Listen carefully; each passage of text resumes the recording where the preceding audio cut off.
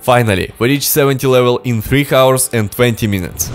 Hey guys, right now I will show you the fastest way how you can level up 70 level from scratch without boring quests and dungeons, step by step, on AFK mode. Also you will see how you can increase getting of your experience by 30% and it will work even if you do leveling with dungeons and quests. During the video you will see how long will it take to up 70 level from scratch right here.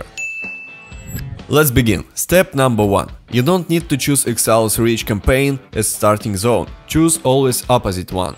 Then you need to summon your character via Meeting Stone and carry your alt character with dragon on following locations. Nokhudon Hold or Brackenhide Hollow. You just need to stay on the one place to get experience. On Nokhudon Hold you need to stay here, on Brackenhide Hollow you need to stay here. Also, don't forget to move your mouse every 25 minutes to avoid kick from the game. Step number 2.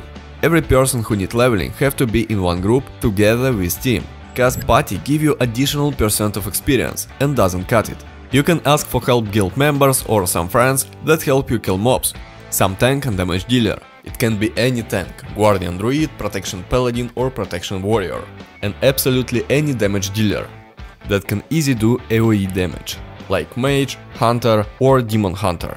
But if you don't wanna waste your time, text me on my social media. Me and my team will help you to get 70 level as fast as possible without ban and account sharing.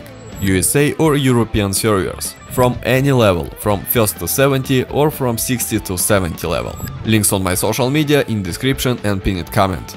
Let's continue. Step number 3. Preparations or how you can increase getting of your experience by 30%. To increase getting of your experience by 30%, you need to do the following things. The first one.